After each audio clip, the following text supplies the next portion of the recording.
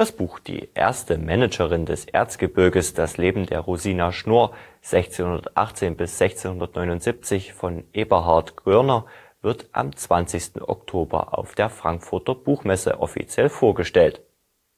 Darauf machte die Stadtverwaltung Auebad Schlema aufmerksam. Mit der Neuerscheinung baut die Edition Klaus aus Limbach-Oberfrohna ihre Programmschiene mit regionalen Titeln weiter aus das Buch erschien bereits 2020 unter einem anderen Titel in einem Chemnitzer Verlag und wurde für die Neuerscheinung komplett neu durchgesehen. Das Buch von Eberhard Görner zeichnet die dramatische Familiengeschichte der ersten europäischen Bergbauunternehmerin nach